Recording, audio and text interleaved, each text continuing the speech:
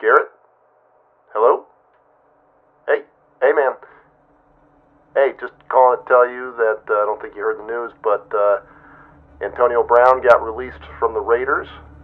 So uh, you're gonna be getting some calls from your friends, giving you shit. And uh, just wanted to be the first to tell you that you know the Raiders are a fucking dumpster fire and uh, terrible team, terrible, terrible team, and uh, you're a piece of shit. And I'll talk to you later, okay, man? See you.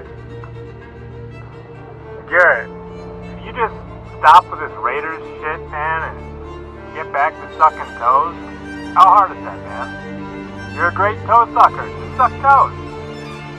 There are winners and losers in life. Unfortunately, Garret's a loser. Do you like it? Do you love it? Knock on wood if you're with me. I've always said my Raider Hall of Fame starts with JaMarcus Russell.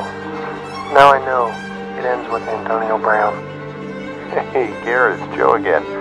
Um, remember when uh, Rich Gannon threw five touchdowns in the Super Bowl? You know, two to his team and three to the other.